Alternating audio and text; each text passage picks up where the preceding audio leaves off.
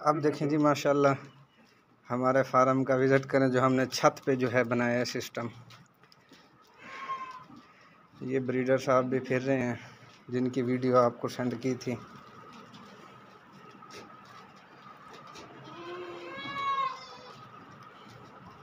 ये अब चार पाँच दिन हो गए हैं, सर जी, ब्रीडर को हमने जो है ना छोड़ दिया है।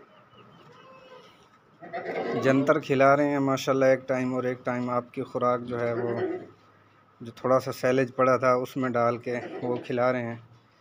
ये सर जी पिंजरा इधर शिफ्ट किया है, ये जो बच्चों के लिए पिंजरा था, ये न्यू बॉर्न के लिए। ये देखें, माशाल्लाह, ये।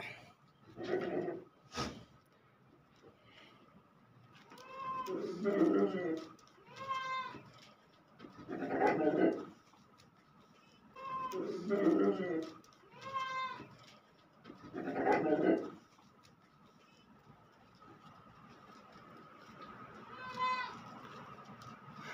सर जी दो पंखे भी लगाए हुए हैं सोलर सिस्टम वाले।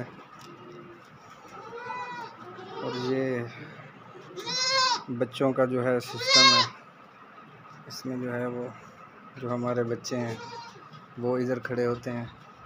ये मेडिसन के लिए ना छोटा सा एक डब्बा बनवाया है, इंजेक्शन वगैरह जो हैं वो इधर रख दिए जाएँ।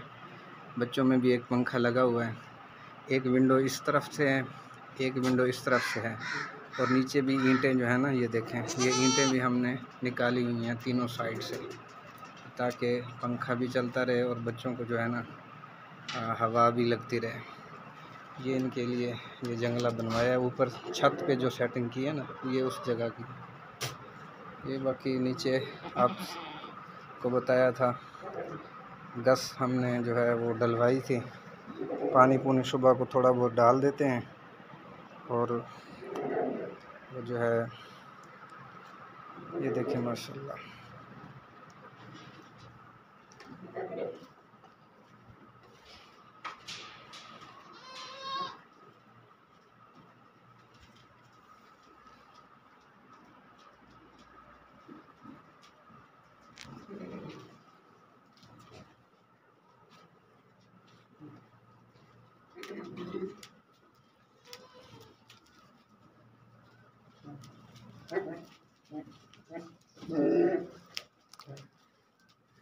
ये सर जी दरवाज़ा है और ये एरिया है जहाँ पे रात को हमारे बकरियाँ और बच्चे फिर इधर ही होते हैं।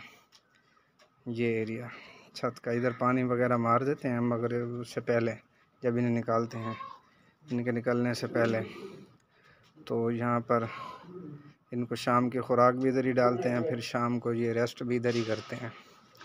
दिन को इधर अंदर होते हैं और रात के टाइम ये पानी भरने के लिए, यानी यहाँ पे बाल्टी वगैरह रख के हौज़ी वगैरह बनाई है कि पानी ऐसे नीचे, ऐसे ना गिरता रहे, चलो हौज़ी में गिरता रहे। तो यहाँ पानी जो है भरने के लिए एक हौज़ी बाहर बनाई है और एक हौज़ी हमने जनाब ये अंदर बनाई है पानी के लिए। ये देखें। पानी। ये बच्चों के लिए।